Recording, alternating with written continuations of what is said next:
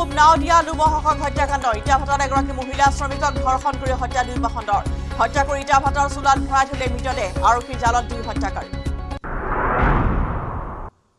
হাজোৰ বৰ্ণিত ভয়ংকৰ পথ দুৰ্ঘটনাত থিতাতে মৃত্যু এজনৰ আহত হৈছে দহজন গৰু বলেৰ পিকআপ ভেন আৰু বাইকৰ মাজত সংঘৰ্ষ। গুৰুতৰভাৱে আহত কেইবাজনকো জি এম চি এইচত ভৰ্তি। উন্নয়নৰ বতৰলৈ আজি শোণিতপুৰ আৰু বাক্সালৈ মুখ্যমন্ত্ৰী হিমন্ত বিশ্ব শৰ্মা। শোণিতপুৰত এহেজাৰ তিনিশ সত্তৰ কোটি টকাৰ প্ৰকল্পৰ শুভাৰম্ভ আৰু শিলান্যাস। শীতলমাৰীত সৌৰ শক্তি প্ৰকল্পৰ ভূমি পূজন বাক্সাতো তিনিশ আঠ কোটি টকাৰ প্ৰকল্পৰ শুভাৰম্ভ আধাৰশিলা নিৰ্বাচনৰ অধিসূচনা ঘোষণাৰ প্ৰাক্ষণত দেশৰ নিৰ্বাচন আয়ুক্ত অৰুণ গোৱেলৰ হঠাতে পদত্যাগ। গোৱেলৰ পদত্যাগৰ পিছত এজনলৈ হ্ৰাস পালে দেশৰ তিনিজনীয়া নিৰ্বাচন আয়োগ ফেব্ৰুৱাৰী মাহত অৱসৰ লৈছিল নিৰ্বাচন আয়ুক্ত অনুপ চন্দ্ৰ পাণ্ডে। চৈধ্য মাৰ্চত অসমলৈ আহিব কেন্দ্ৰীয় গৃহমন্ত্ৰী অমিত শ্বাহ। বটদ্ৰৱা প্ৰকল্পৰ প্ৰথম পৰ্যায়ৰ কাম মুকলি কৰাৰ লগতে দ্বিতীয় পৰ্যায়ৰ কামৰ শুভাৰম্ভ কৰিব শ্বাহে। দুহেজাৰ একৈছৰ পঁচিছ ফেব্ৰুৱাৰীত অমিত শ্বাহে আৰম্ভ কৰিছিল বটদ্ৰৱা প্ৰকল্পৰ নিৰ্মাণ কাৰ্য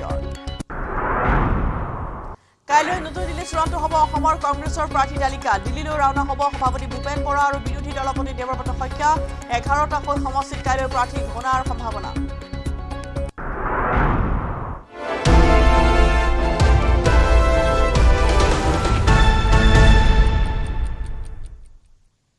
নমস্কাৰ আৰম্ভ কৰিছো লাইভ আৱাৰ ষ্টুডিঅ'ত মই ৰশ্মিতা দৰঙৰ পূব নাওদিয়াত এক লোমহৰ্ষক হত্যাকাণ্ড সংঘটিত হৈছে। এগৰাকী মহিলা শ্ৰমিকক ধৰ্ষণ কৰি হত্যা কৰিলে দুই পাখণ্ডই। হত্যা কৰি ইটা ভাটাৰ চোলাত ভৰাই থলে মৃতদেহ। পূব নাওদিয়াৰ এম জে এম ইটা ভাটাত এই নৃশংস কাণ্ডটি সংঘটিত হৈছে। মহিলাগৰাকীৰ স্বামীৰ এজাহাৰৰ ভিত্তিত ইতিমধ্যে আৰক্ষীয়ে তদন্ত কৰি গ্ৰেপ্তাৰ কৰিছে বালাৰাম হিমৰুং আৰু দেৱান মুৰ্মু নামৰ দুই লম্পটক। চি চি টিভিত বন্দী হৈছে মৃতদেহ চোচৰাই লৈ অনাৰ দৃশ্য। আৰক্ষীৰ জেৰাত দুই পাখণ্ডই মহিলাগৰাকীক হত্যা ধৰ্ষণ কৰি হত্যা কৰাৰ কথা ইতিমধ্যে স্বীকাৰ কৰিছে। আৰু ইতিমধ্যে আৰক্ষীৰ জালত পৰিছে দুই হত্যাকাৰী। কেনেদৰে নৃশংসভাৱে মহিলাগৰাকীক হত্যা কৰা হ'ল সেই শিহৰণকাৰী বৰ্ণনা ইতিমধ্যে আৰক্ষীৰ আগত কৰিছে দুই হত্যাকাৰীয়ে। চি চি টিভিত বন্দী হৈছে কেনেদৰে মৃতদেহ চোচৰাই লৈ আনিছিল আৰু চোলাত ভৰাই থৈছিল। ইটা ভাটাত কৰ্মৰত আছিল এই মহিলা শ্ৰমিকগৰাকী। দৰঙৰ পূব নাওদিয়াত এই লোমহৰ্ষক হত্যাকাণ্ড সংঘটিত হৈছে। এগৰাকী মহিলা শ্ৰমিকক ধৰ্ষণ কৰি হত্যা কৰিলে দুই শ্ৰমিকে। হত্যা কৰি ইটা ভাটাৰ চোলাটো ভৰাই থলে মৃতদেহ। সমগ্ৰ দৃশ্য চি চি কেমেৰাত বন্দী হৈছে আৰু তাৰ আধাৰৰ ভিত্তিতে ইতিমধ্যে আৰক্ষীয়ে দুই হত্যাকাৰীক গ্ৰেপ্তাৰ কৰিছে।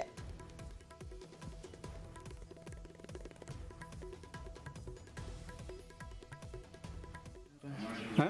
কেনেকৈ হত্যা কৰিছিলে এই ৰাতি ই গৈছিলোঁ হত্যা কৰাটো হয়নে নহয় হত্যা কৰাটো মই কৰা নাই হত্যাটো ই কৰিছে কি কৰিছে দুয়োজনে আছিলে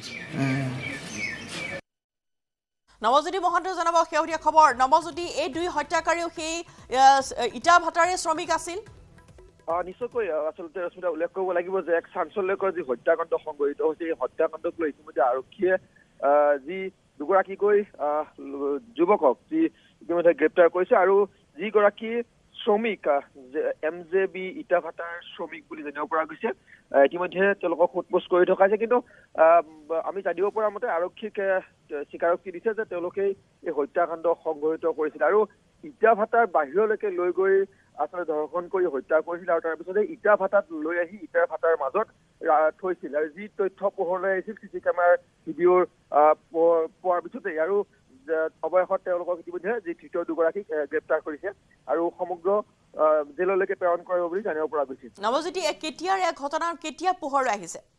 আহ, আচলতে যে- হত্যাকাণ্ড হত্যাকাণ্ড প্ৰায় তিনিদিন পূৰ্বে সংঘটিত হৈছিল। আৰু তিনিদিন পূৰ্বে সংঘটিত হোৱা হত্যাকাণ্ডৰ পোহৰলৈ আহিছিল আহ, যি স্বামীয়ে এজাহাৰ দাখিল কৰিছিল যিহেতু মহিলাগৰাকী নিৰুদ্দেশ হৈ আছিল আৰু নিৰুদ্দেশ হৈ থকাৰ পিছতে আহ, থানাত এজাহাৰ দাখিল কৰিছিল। থানাত এজাহাৰ দাখিল কৰাৰ পিছত আৰক্ষীয়ে তদন্ত কৰিছিল আৰু সেই তদন্তৰ প্ৰথমতে ইটা ভাটাৰ যি মালিকক ভিডিঅ' যি ফুটেজ চি চি টিভিৰ ফুটেজ সেই ফুটেজ চাবৰ কাৰণে বিচাৰিছিল আৰু ফুটেজ চোৱাৰ পিছতেই তথ্য পোহৰলৈ আহিছিল যে আচলতে মহিলাগৰাকীক হত্যা কৰা হৈছিল হত্যা কৰি ইটা ভাটালৈকে লৈ অনা হৈছিল নিশাৰ ভাগত। ধন্যবাদ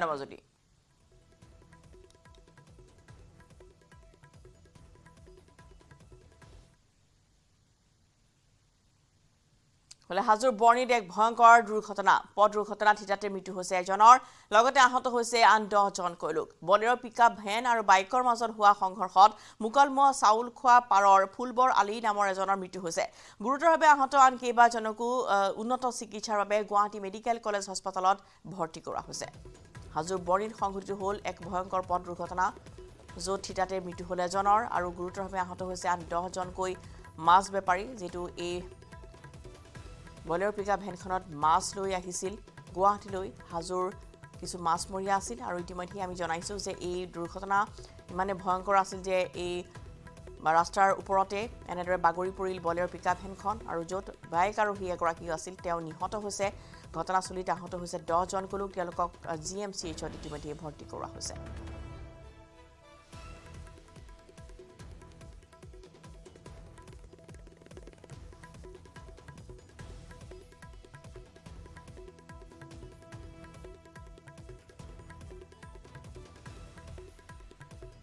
গাড়ীখন চাউল খোৱাৰ পৰা আহি আছিল।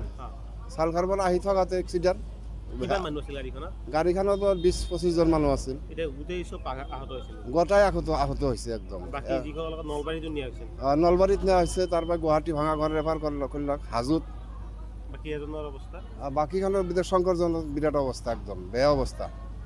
চিৰিয়াছ বিৰাট একদম। একজন গাড়ীখন চাউল খোৱাৰ পৰা আহি আছিল। খোৱাৰ পৰা আহি থকাতে এক্সিডেণ্ট গাড়ীখনত গাড়ীখনত বিছ পঁচিছজন মানুহ আছিল। এতিয়া গোটেই চব আঘা- আহত হৈছিল। গোটাই আহত আহত হৈছে একদম। বাকী যিসকল লগত নলবাৰীতো নিয়া হৈছিল? আহ, নলবাৰীত নিয়া হৈছে তাৰ পৰা গুৱাহাটী ভাঙা ঘৰ ৰেফাৰ কৰিলক কৰিলক হাজোত। বাকী এজনৰ অৱস্থা? আহ, বাকীখনৰ বিৰাট শংকৰজনৰ বিৰাট অৱস্থা একদম বেয়া অৱস্থা। চিৰিয়াছ বিৰাট একদম। একজনতো ডেথে হৈ গ'ল। প্ৰধানমন্ত্ৰী নৰেন্দ্ৰ মোদী দুদিনীয়া অসম ভ্ৰমণৰ পিছতে এইবাৰ অসমলৈ আহিব কেন্দ্ৰীয় গৃহমন্ত্ৰী অমিত শ্বাহ। চৈধ্য মাৰ্চত বটদ্ৰৱা থানলৈ আহিব কেন্দ্ৰীয় গৃহমন্ত্ৰীগৰাকী। এশ অষ্টাশী কোটি টকা ব্যয়েৰে নিৰ্মাণ হৈ থকা বটদ্ৰৱা প্ৰকল্পৰ প্ৰথম পৰ্যায়ৰ কাম মুকলি কৰাৰ লগতে দ্বিতীয় পৰ্যায়ৰ কামৰ শুভাৰম্ভ কৰিব।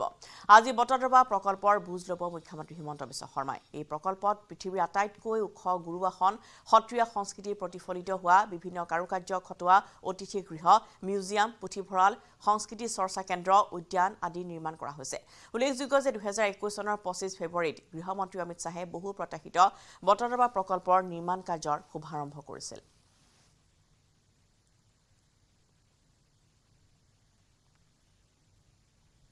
চৈধ্য মাৰ্চত অসমলৈ আহিব কেন্দ্ৰীয় গৃহমন্ত্ৰী আৰু বটদ্ৰৱা প্ৰকল্প যিটো নিৰ্মাণ কাৰ্যৰ তেওঁ শুভ উদ্বোধন কৰিছিল আৰম্ভণি কৰিছিল আৰু সেইবাবে যিহেতু প্ৰথম পৰ্যায়ৰ কাম ইতিমধ্যে সম- সমাপ্ত হৈছে দ্বিতীয় পৰ্যায়ৰ প্ৰকল্পৰ কাম আৰম্ভ হ'ব আৰু সেই দ্বিতীয় পৰ্যায়ৰ প্ৰকল্পৰ কামৰ বাবেও শুভাৰম্ভ তেওঁ কৰিব। দ্বিতীয় পৰ্যায়ৰ প্ৰকল্পৰ প্ৰথম পৰ্যায়ৰ কাম ইতিমধ্যে সমাপ্ত হৈছে আৰু অহা চৈধ্য মাৰ্চত কেন্দ্ৰীয় গৃহমন্ত্ৰীগৰাকী আহি এই দ্বিতীয় পৰ্যায়ৰ যি কামৰ শুভাৰম্ভ কৰিব বুলি জানিব পৰা গৈছে আৰু ইতিমধ্যেই তাত স্থানসমূহ পৰিদৰ্শন কৰিছে পৰ্যবেক্ষণ কৰি থকা হৈছে যে কি পৰ্যায়ৰ বৰ্তমান কাম আগবাঢ়ি আছে। যিটো দুহেজাৰ ছাব্বিছৰ পূৰ্বে এই নিৰ্মাণ কাৰ্য সম্পন্ন হোৱাৰ সম্ভাৱনা আছে। আৰু আমাৰ জ্যেষ্ঠ সাংবাদিক নীলোৎপল বৰা এই মুহূৰ্তত তাত উপস্থিত আছে। নীলোৎপল আমি আপোনাৰ পৰা জানিব বিচাৰিছোঁ যিহেতু চৈধ্য মাৰ্চত কেন্দ্ৰীয় গৃহমন্ত্ৰী আহিব বটদ্ৰৱালৈ এই মুহূৰ্তত কেনেধৰণৰ তাত আয়োজন চলিছে আমি আপোনাৰ পৰা জানিব বিচাৰিম। নিশ্চয়। ৰশ্মিতা যি দুহেজাৰ ষোল্ল চনলৈকে এই বটদ্ৰৱাৰ এই ভূমি বেদখল বেদখলৰ কবলত আছিলে দুহেজাৰ ষোল্ল চনলৈকে। আৰু দুহেজাৰ ষোল্ল চনৰ যেতিয়া কাজিৰঙা যি উচ্ছেদ হৈছিলে তাৰ পিছতেই বটদ্ৰৱাৰ এই ভূমি দখল কৰি থকা বেদখলকাৰী ইয়াৰ পৰা নিজে ইয়াৰ পৰা উঠি গুচি গৈছিলে। মই পুনৰ কৈছোঁ যে মই যি দুহেজাৰ একৈছ চনৰ পঁচিছ ফেব্ৰুৱাৰীত যেতিয়া গৃহমন্ত্ৰী অমিত শ্বাহ ইয়ালৈ আহিছিলে আহি পেলাই তেওঁ যি এশ অষ্টাশী কোটি টকা ব্যয় সাপেক্ষে যি প্ৰকল্পৰ যি আধাৰশিলা স্থাপন কৰিছিলে সেই সেই প্ৰকল্পই কিন্তু অসমৰ বাবে এক নতুন বাৰ্তা কঢ়িয়াই আনিছিলে। গুৰুজনাৰ জন্মস্থানত যি যিভাগ প্ৰকল্পৰ নিৰ্মাণ কৰা হৈছে সত্ৰীয়া সংস্কৃতিৰ আৰ্হিত প্ৰতিটো ভৱন ইয়াত নিৰ্মাণ কৰা হৈছে। যিভাগ মই আমি বৰ্তমান দেখুৱাই আছো যিভাগ ভৱন এয়া দেখুৱাই আছে গুৰু আসন। বিশ্বৰ ভিতৰতে সৰ্ববৃহৎ গৰু আসনখন বৰ্তমান আমি দেখুৱাই আছো। এয়া বটদ্ৰৱাৰ যি প্ৰকল্পত যি সম্পূৰ্ণ হোৱা এই গৰু আসন ভাগে অহা চৈধ্য মাৰ্চত আহি পেলাই গৃহমন্ত্ৰী অমিত শ্বাহ ডাঙৰীয়াই উদ্বোধন কৰিব। আৰু আহ, তাৰ পিছত এখন জনসভাতো তেওঁ অংশগ্ৰহণ কৰিব। আৰু বটদ্ৰৱা প্ৰকল্পৰ কাম তিনিটা পৰ্যায়ত হ'ব আমি ইতিমধ্যে উল্লেখ কৰিছোঁ। ইতিমধ্যে মুখ্যমন্ত্ৰীগৰাকীৰ হেলিকপ্টাৰ আহি পেলাই বৰ্তমান বটদ্ৰৱাত আহি পেলাই উপস্থিত হৈছে আমি দেখুৱাইছোঁ। মুখ্যমন্ত্ৰীগৰাকীয়ে আজি কামৰ অগ্ৰগতিৰ বুজ ল'ব। তাৰপিছতে তেওঁ ইয়াৰ পৰা যাব। লগত আছে নগাঁও সদৰ সমষ্টিৰ বিধায়ক ৰূপক শৰ্মা আছে। আৰু মই এটা কথা ক'ব লাগিব যে বটদ্ৰৱাৰ যি এই এই ভাগ প্ৰকল্পৰ প্ৰকল্পক লৈ অসমীয়াৰ হেঁপাহ আছিলে। কাৰণ অসমীয়া জাতিৰ ত্ৰাণকৰ্তা।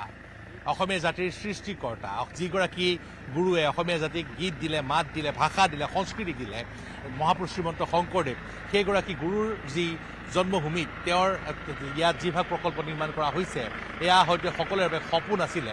মই আহ, যি আমাৰ লগত বটদ্ৰৱা সত্ৰৰ যি বট আমাৰ লগত সত্ৰাধিকাৰ আছে আমি জানিবলৈ চেষ্টা কৰিম। আপোনাৰ পৰা জানিবলৈ চেষ্টা কৰিম। সকলোৱে কয় যে মহাপুৰুষ শ্ৰীমন্ত শংকৰদেৱৰ জন্মস্থানত।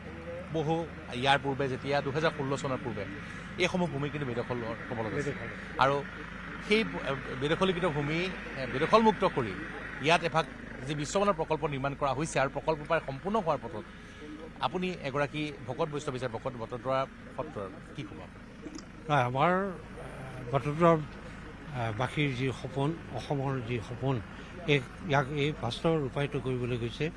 আমাৰ অতি শ্ৰদ্ধাৰ আৰু মুখ্যমন্ত্ৰী হেমন্ত বিশ্ব শৰ্মাদেৱে তেখেতৰো সপোন ইয়াত প্ৰতিফলিত হৈছে। আমি আশা কৰিছিলোঁ যে গুৰুজনাক জানিবলৈ এজন ব্যক্তিৰ এনেকুৱা এখন ক্ষেত্ৰৰ আমাৰ প্ৰয়োজন য'ত গুৰুজনাই আমাক অসমীয়া জাতিক দি থৈ যোৱা সকলোখিনি সংস্কৃতিৰ ইয়াত প্ৰতিফলিত হয়। গতিকে সেই অনুপাতে ইয়াত গুৰুজনৰ প্ৰদত্ত অসমীয়া জাতিৰ বাবে দি থৈ যোৱা কলা সংস্কৃতি শিল্প ভাস্কৰ্য গীত নৃত্য বাদ্য অভিনয় আহ, ম- মাৰ্কছ এই সকলোখিনি ইয়াত থুপুকৃত কৰি যিটো প্ৰজেক্ট আৰম্ভ কৰিছে এই প্ৰজেক্টৰ দ্বাৰা আমিতো আনন্দিত হৈছোঁ কিন্তু চবতকৈ ডাঙৰ কথা যে গুৰুজনৰ প্ৰতি এইটো এটা সাংঘাতিক সেৱা যে গুৰু সেৱা। মানুহে পুনৰ জানিব মহাপুৰুষজনাৰ নিশ্চয় জানিব। ইয়ালৈ আহিলেই গোটেই মহাপুৰুষ গুৰুজনাৰ সম্পৰ্কত সকলোখিনি জনাৰ ইয়াত ব্যৱস্থা কৰিছে। গতিকে এনেধৰণৰ প্ৰকৃত গুৰু সেৱা এই প্ৰজেক্টটোৰ জৰিয়তে গুৰুজনৰ প্ৰতি নিশ্চয় অৰ্পণ কৰা হৈছে। নিৰূপল নিশ্চয়কৈ আচলতে সংস্কৃত সংগীতিৰ যদি প্ৰকল্প নিৰ্মাণ সম্পূৰ্ণ হয় তেতিয়াহ'লে যিকোনো এগৰাকী পৰ্যটক যদি অসমলৈ আহে ইতিমধ্যেই সত্ৰীয়া সত্ৰীয়া সংস্কৃতিক লৈ বিভিন্ন গৱেষণা চলি আছে। বিদেশৰ বহু পৰ্যটকৰ আগমন ঘটা পৰিলক্ষিত হয়। গতিকে অসমলৈ বা বটদ্ৰৱাৰ যদি এই স্থানলৈ এই প্ৰকল্পলৈ আহে তেওঁলোক তেতিয়াহ'লে সেই প্ৰকল্পৰ জৰিয়তে আচলতে তেওঁলোকে সকলো অসমৰ কথা বা এই সংস্কৃতি অসমীয়া সংস্কৃতি বা পৰম্পৰাগত এইবোৰ যি গীত নৃত্য সকলো আয়োজন তেওঁলোকে জানিব পাৰিব বা কেনেধৰণে আচলতে হৈছে সকলো গুৰি তেওঁলোকে জানিবলৈ সক্ষম হ'ব এই প্ৰকল্প নিৰ্মাণ হোৱাৰ পিছতে। নিশ্চয় নিশ্চয়। ৰশ্মিতা যি এইভাগ প্ৰকল্পৰ প্ৰতিটো আৱাসগৃহ গুৰুজনাৰ সত্ৰীয়া সংস্কৃতিৰ প্ৰতিটো বিভিন্ন ধৰণৰ সমলৰ আৰ্হিত বনোৱা হৈছে। খোল তাল বিভিন্ন ধৰণৰ আৰ্হিত ইয়াত বিভিন্ন ধৰণৰ যিসমূহ ঘৰ নিৰ্মাণ কৰা হৈছে। আৰু বটদ্ৰৱা যি- যি এইবাৰ প্ৰকল্পলৈ আহিবলৈ নগাঁৱৰ পৰা অসম মালাৰ অধীনত এটি সুন্দৰ পথ নিৰ্মাণ কৰা হৈছে।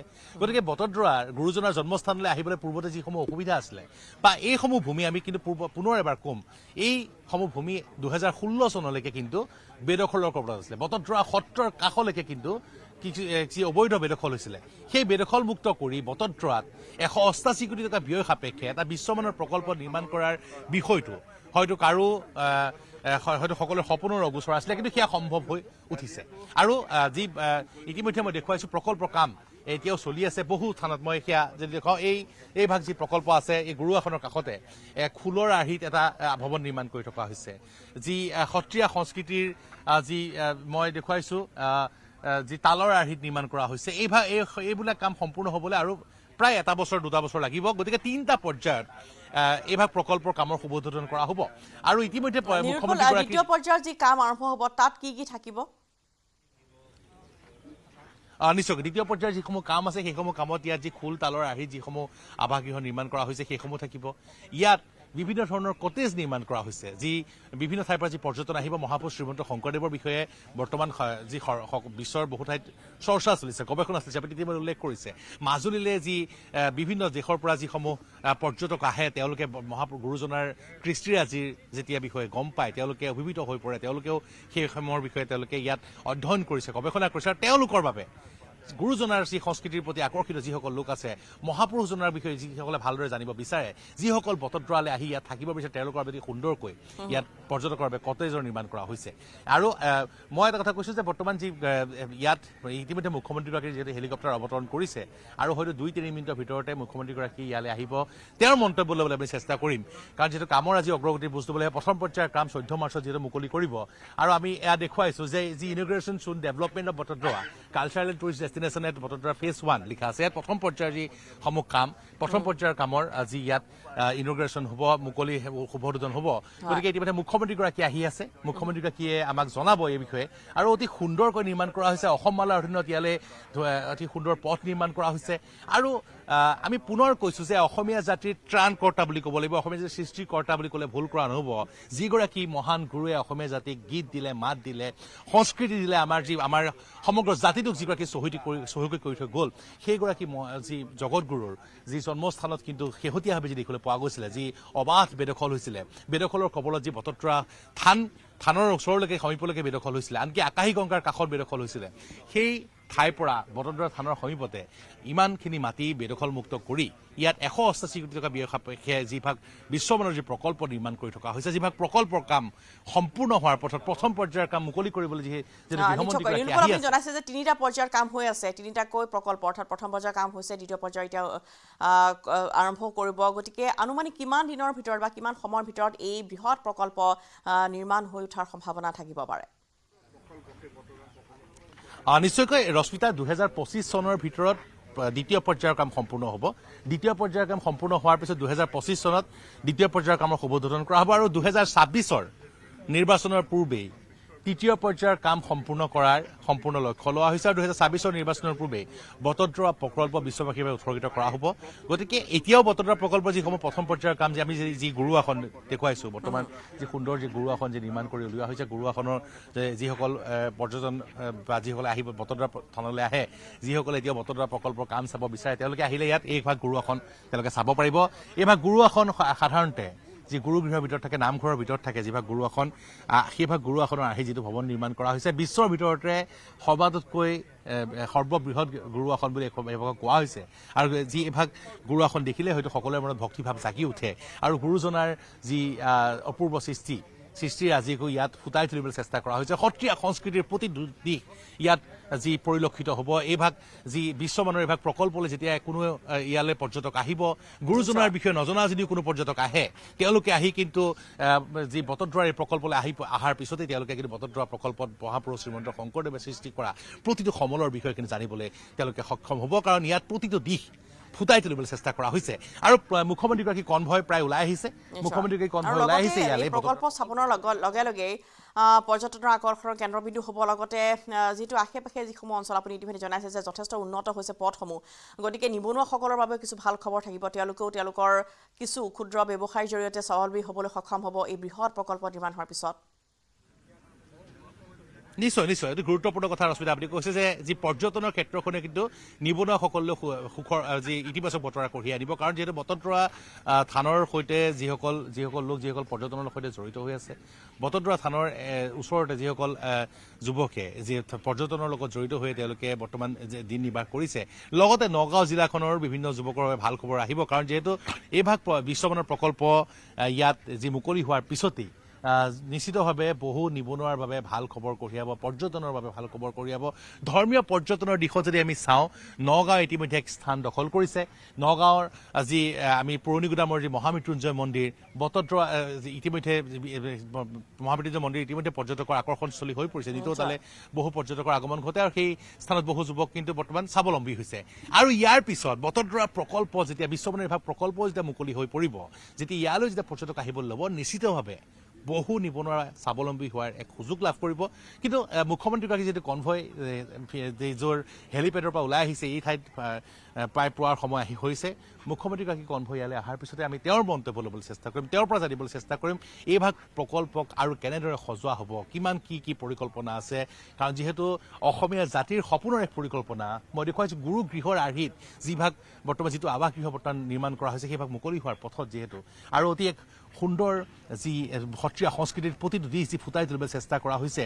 লগতে যি বিশ্বমানৰ প্ৰকল্প বুলি তেতিয়াই কোৱা হৈছিলে আৰু দুহেজাৰ ষোল্ল চনৰ পঁচিছ আজি দুহেজাৰ ষোল্ল চনৰ যি কাজিৰঙাৰ উচ্ছেদৰ আগলৈকে কিন্তু এইসমূহ ঠাই একাংশ কিন্তু সন্দেহযুক্ত নাগৰিকৰ কবলত আছিলে। এইসমূহ ঠাইত বেদখলৰ কবলত আছিলে। আৰু দুহেজাৰ ষোল্ল চনৰ পিছত এই বেদখলমুক্ত হোৱাৰ পিছত দুহেজাৰ একৈছ চনৰ পঁচিছ মাৰ্চত যেতিয়া ইয়াত বিশ্বমানৰ প্ৰকল্প নিৰ্মাণ কৰাৰ কথা কোৱা হ'ল হয়তো মুখ্যমন্ত্ৰী ইতিমধ্যে মুখ্যমন্ত্ৰীগৰাকী আহিছে। ৰফিতা আমি মুখ্যমন্ত্ৰীগৰাকী আহিছে কাম চাবলৈ। আমি তেওঁৰ পৰা যাবলৈ তেওঁৰ পৰা জানিব চেষ্টা কৰি মুখ্যমন্ত্ৰীগৰাকী ইয়ালৈ পদব্ৰজে আহিছে যিহেতু কাষৰ পৰা আহিছে। তেওঁ প্ৰকল্পৰ কামৰ ইতিমধ্যে বুজ লৈছে। আমি তেওঁৰ আমি পোনপটীয়াকৈ দেখুৱাবলৈ চেষ্টা কৰিম সেইসমূহ দৃশ্যাংশ দেখুৱাবলৈ চেষ্টা কৰিম ৰশ্মিতা। আৰু এটা কথা ক'ব লাগিব যে চৈধ্য মাৰ্চত দেশৰ গৃহমন্ত্ৰী অমিত শ্বাহ ডাঙৰীয়া ইয়ালৈ আহি আছে গৃহমন্ত্ৰীগৰাকী আহি পেলাই।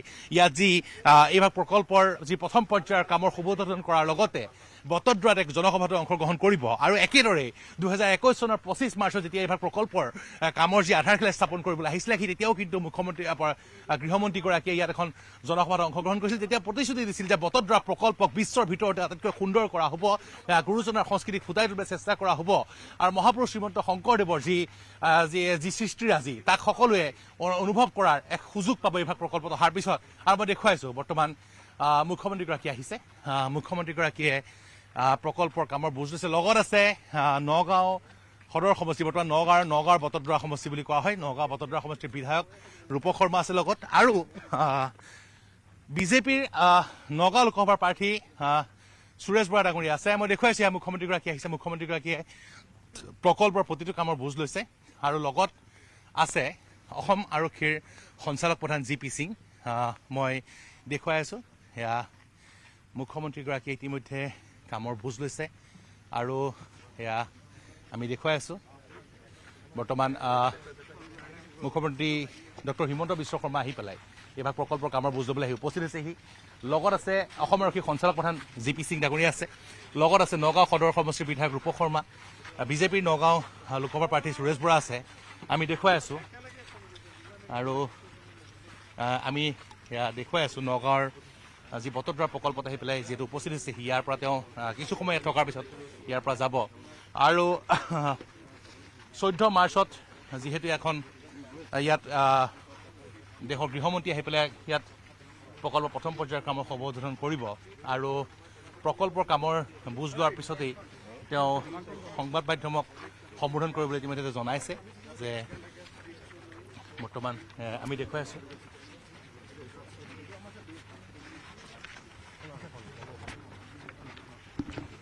আৰু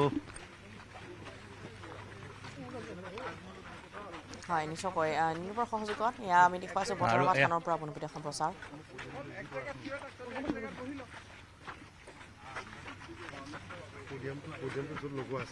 আৰু সম্প্ৰচাৰত এয়া বতৰবা থানৰ যিহেতু দ্বিতীয় পৰ্যায়ৰ শুভাৰম্ভ কৰা হ'ব চৈধ্য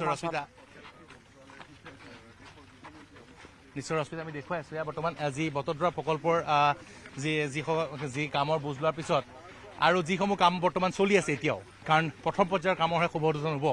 দ্বিতীয় আৰু তৃতীয় পৰ্যায় দুটা থাকিব। গতিকে দুয়োটা পৰ্যায়ৰ কামৰ আহ, শুভ- শুভোধন কৰিব। যে গুৰুৱা আসন ভাগ কেনেকৈ নিৰ্মাণ কৰা হ'ল সি সাজু হোৱাৰ ওপৰত তেওঁ ইতিমধ্যে বুজ লৈছে। তেওঁ ইতিমধ্যে আহ, সেই ভাগো চাইছে আৰু আমি দেখুৱাই আছোঁ বৰ্তমান যিহেতু ইয়াত গৃহমন্ত্ৰীগৰাকী যিহেতু আহি আছে আৰু সেয়ে বৰ্তমান অসম আৰক্ষী সঞ্চালক প্ৰধান জি পি সিং ডাঙৰীয়াও আহিছে তেওঁ আহি পেলাই এই স্থানৰ বুজ লৈছে মই দেখুৱাইছোঁ বৰ্তমান। নগাঁও আৰক্ষী অধীক্ষকো আছে। গতিকে আমি এয়া দেখুৱাইছোঁ বৰ্তমান এয়া নগাঁৱৰ যি পটদ্ৰাৰ যি গুৰু আসনৰ ভাগ পৰিদৰ্শন কৰাৰ পিছত আৰু কি কি কাম অগ্ৰগতি লৈছে? ৰশ্মিতা সেই ভাগ সেইফালে তেওঁ গৈছে সেইফালে তেওঁ গৈ পেলাই বুজ ল'ব। বটদ্ৰাৰ ভকত বৈষ্ণৱৰ সৈতে আলোচনাত ভাগ ল'ব। কি কি কাম কৰিব লগা আছে? আমি পোনপটীয়াকৈ নিজ দিনৰ সমাজৰ দৰ্শকলৈ দেখুৱাই আছোঁ এই সমগ্ৰ দৃশ্যাংশ। আৰু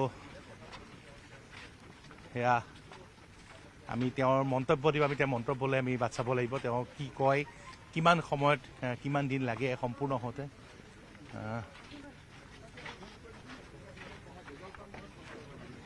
আৰু আৰু এয়া দেখুৱাইছোঁ বৰ্তমান বটদ্ৰাৰ ভকত বৈষ্ণৱৰ সৈতে তেওঁলোকে আহ, যি আলোচনাত ভাগ লৈছে। আমি দেখুৱাইছোঁ মুখ্যমন্ত্ৰীগৰাকীয়ে বটদ্ৰৱা থান পৰিচালনা সমিতি বা বটদ্ৰৱাৰ যি বকত বস্তুৰ সৈতে তেওঁলোকে আলোচনাত ভাগ লৈছে তেওঁ আমি পোনপটীয়াকৈ এই দেশসমূহ দৃশ্যাংশ দেখুৱাই আছোঁ। আৰু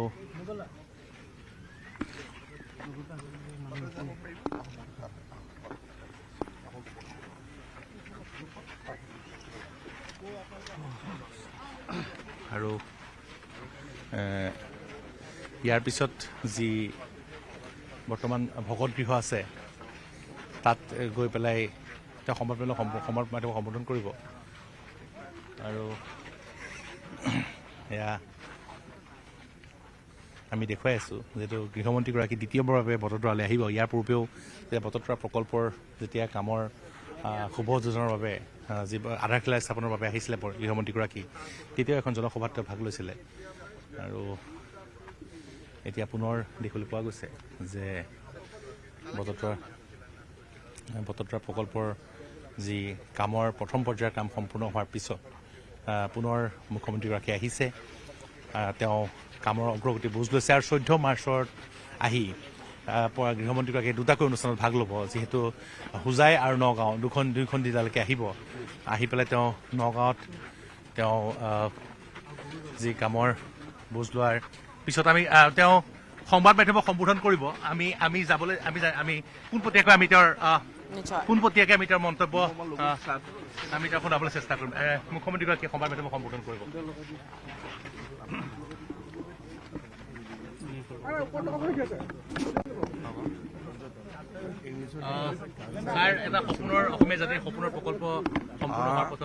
আপোনালোকে জানে যে মহাপুৰুষ শ্ৰীমন্ত শংকৰদেৱৰ পবিত্ৰ জন্মভূমি বটদ্ৰৱাত ৰাজ্য চৰকাৰে এটা সাংস্কৃতিক আৰু ঐতিহ্য ক্ষেত্ৰ নিৰ্মাণ কৰাৰ কাম হাতত লৈছিলে।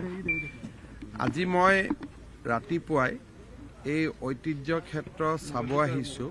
মোৰ মূল উদ্দেশ্যটো হ'ল যে পোন্ধৰ তাৰিখ বা ষোল্ল তাৰিখ বা এই মাহত এই প্ৰকল্পটি উদ্বোধন কৰিব পৰা যায় নেকি? কিছু কাম বাকী আছে মই লোক নিৰ্মাণ বিভাগৰ অভিযন্তাসকলৰ লগত কথা পাতিম। যদি আমি অহা সাত দিন বা তিনিদিন বা দহ দিনত আমি সমাপ্ত কৰিব পাৰোঁ তেতিয়াহ'লে আমি উদ্বোধন কৰিম।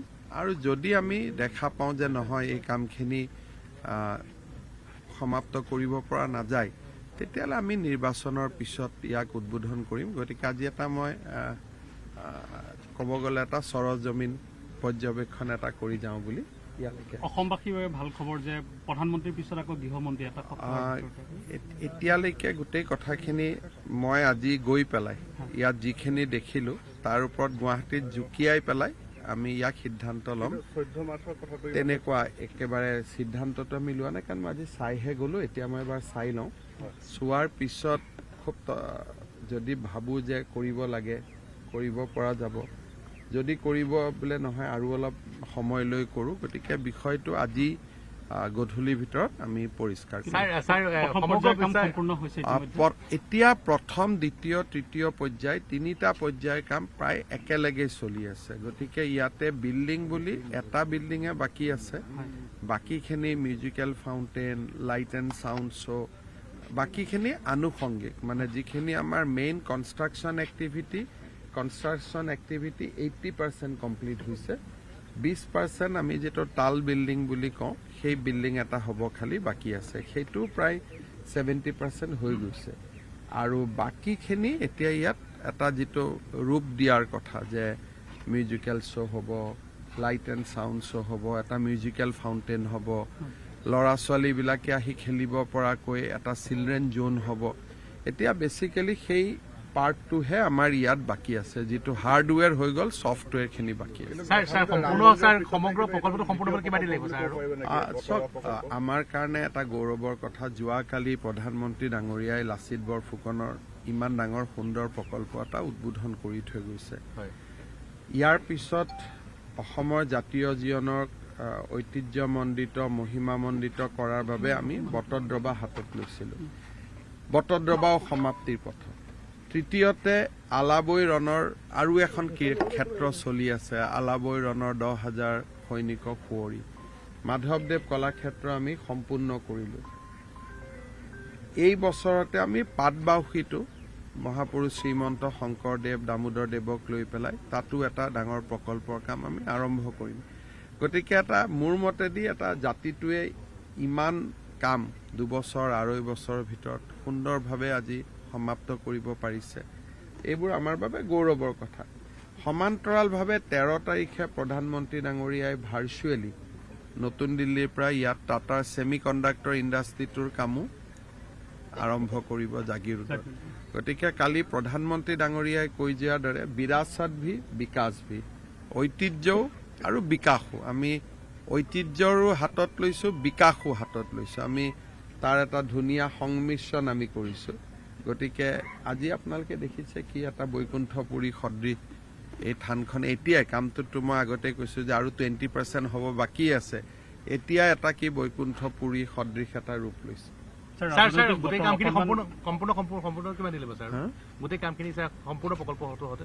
নাই আৰু কিমান? ছমাহৰ কাম যদি আপুনি বাকী যিটো ফিনিচিং গ্ৰাছ লগোৱা মিউজিকেল ফাউণ্টেইন লগোৱা লাইট এণ্ড চাউণ্ড কৰাই গোটেইখিনি ছমাহৰ কাম।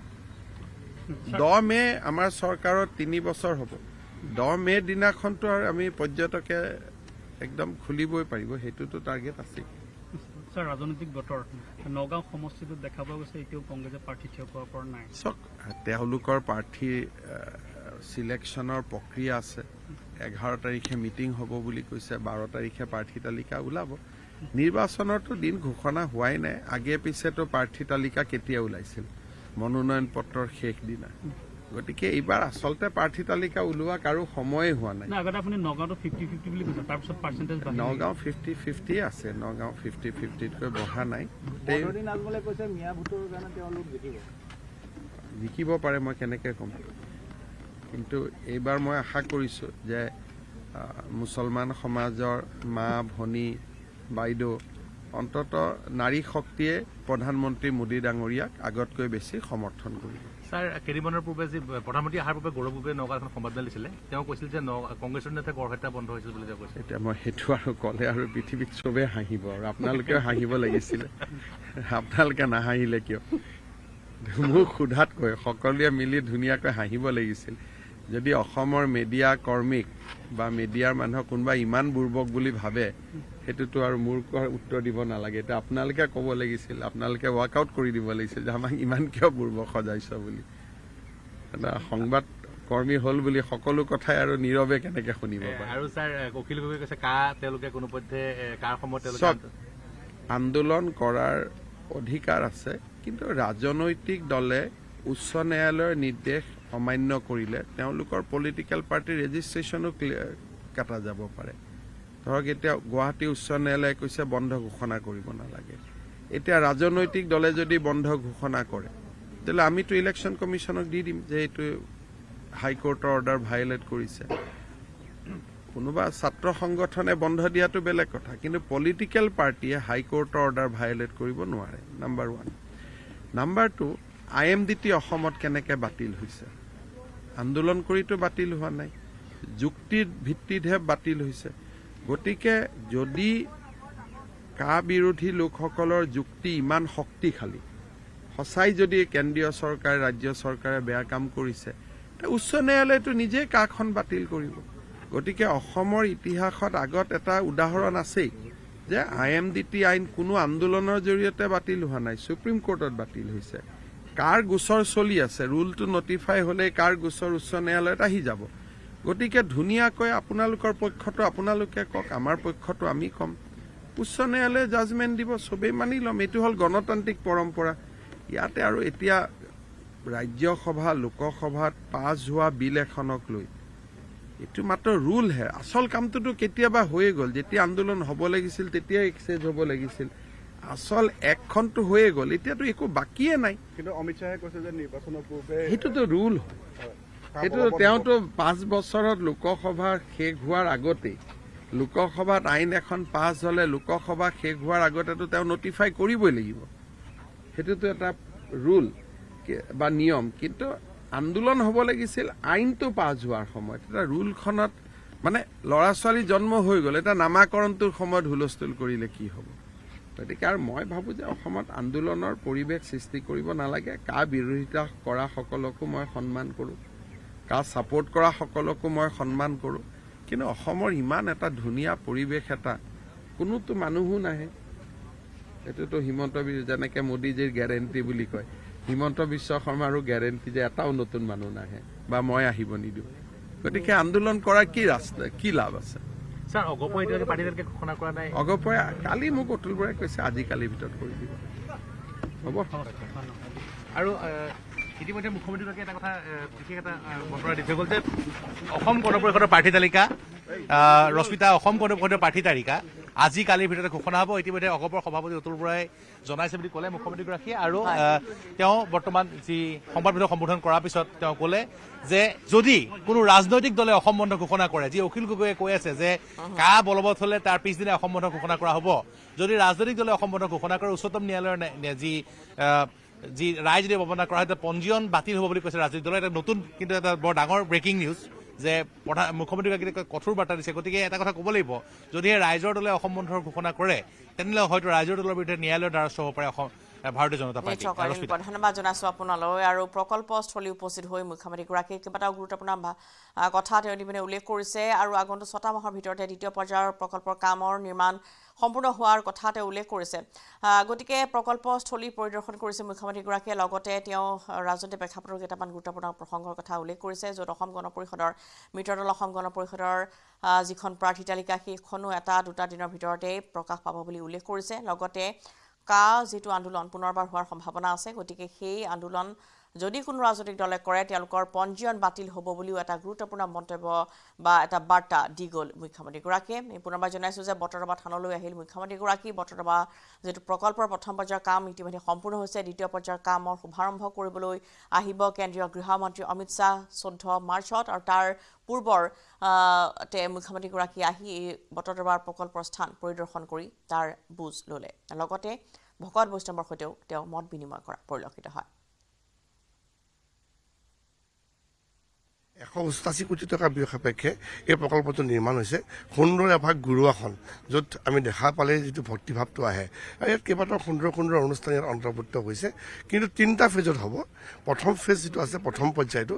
অহা চৈধ্য তাৰিখে ভাৰতবৰ্ষৰ মাননীয় গৃহমন্ত্ৰী অমিত শ্বাহ ডাঙৰীয়া মুকলি কৰিব। তাৰপিছত দ্বিতীয় ফেজ আৰু তৃতীয় ফেজ।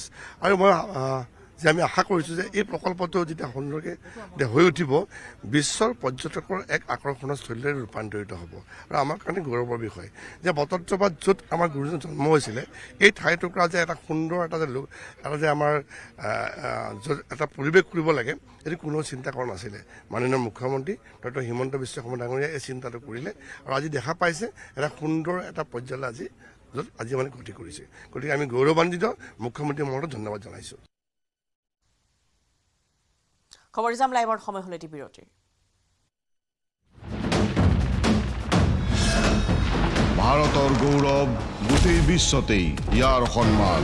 ষ্ট্ৰং মানে মাইথান ষ্টীল